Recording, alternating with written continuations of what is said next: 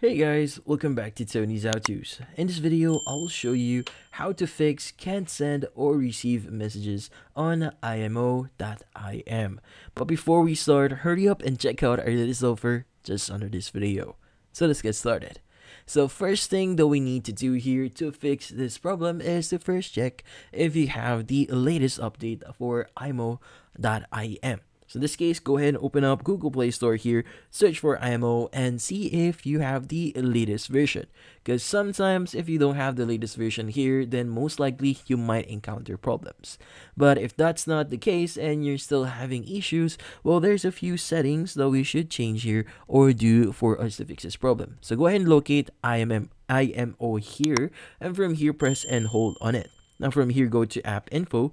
And from here, what we need to do next is we need to look for the option that says restrict data usage. So once you click on it, make sure that you enable the setting for Wi-Fi and mobile data and hit on OK.